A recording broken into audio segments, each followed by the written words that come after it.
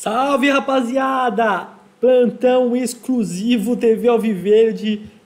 Nessa negociação que não acaba nunca, Arthur vai ser anunciado a qualquer momento e já temos a primeira foto dele com a camisa do Palmeiras, né? Isso porque o, o Arthur já apareceu né, no bid da, da, da CBF, né?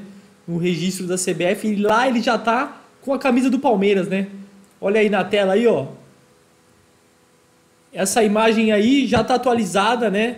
Já foi feito, acho que as imagens que vão ser postadas aí. Mas praticamente é um jogador do Palmeiras já, o Arthur, agora só esperando o Palmeiras divulgar, né?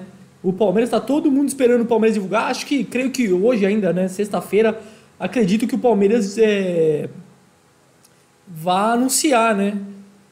Tá, é, muita gente aí reclamando do marketing do Palmeiras, né? Que ainda não divulgou né? O marketing do Palmeiras ainda não, não postou e tá todo mundo ansioso, né?